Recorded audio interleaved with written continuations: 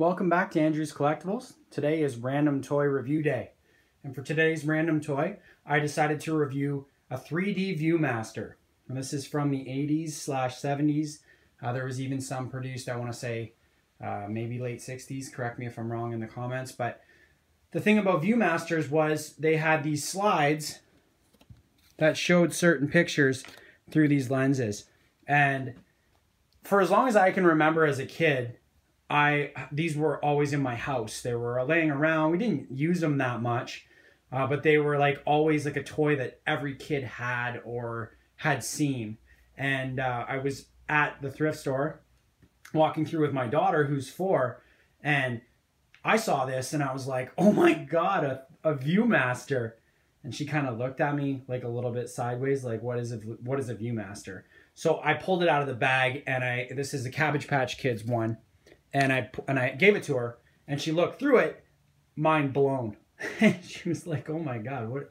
Like, how does this? Like, she didn't. She like was like, wow, never seen it before." And I started looking into like, do they still produce them? And I couldn't really find if they were really producing them in vast quantities or if that company was defunct. So I kept this one. It was a dollar ninety nine, and it came with one slide. So you can order these slides, and there's actually a pretty high demand on eBay for the slides. The Viewmasters are kind of cheap, and like you can get a million of them because they were so mass produced uh, in the 80s and you know 90s and that sort of thing. But these things, uh, they weren't. So the Cabbage Patch Kids, I don't even think they make them anymore.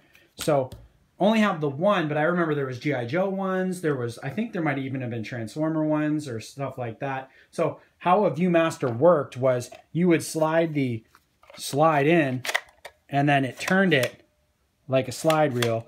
And if you looked through these two like binoculars at a light, you would get to see the different set of pictures. So it was it was super neat, um, super neat find. It was definitely as soon as I saw it, I thought of my daughter, and then I thought, hey, let's do a random tour review on this because uh, I haven't I, like I don't think I, have seen one. I haven't seen one of these in probably ten years minimum.